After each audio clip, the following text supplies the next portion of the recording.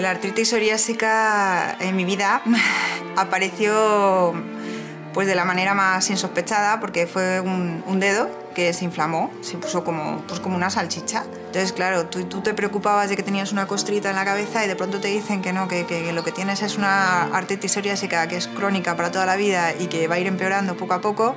Y dices, jo, pues esto es, no sé qué decirte.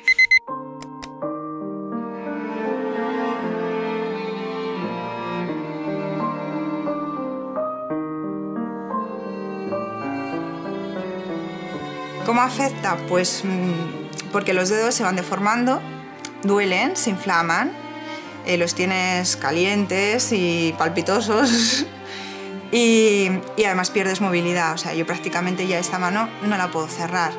Entonces eh, hay muchísimas cosas de la vida cotidiana pues que ya no haces bien. Eh, pues abrir botes, cerrar botes, ponerte los botones, y, bueno, que te cuesta mucho más arrancar. Porque yo, por ejemplo, cuando me levanto por las mañanas, pues hasta que mi cuerpo empieza a ponerse en funcionamiento, pues entre media hora, una hora, no me la quita nadie.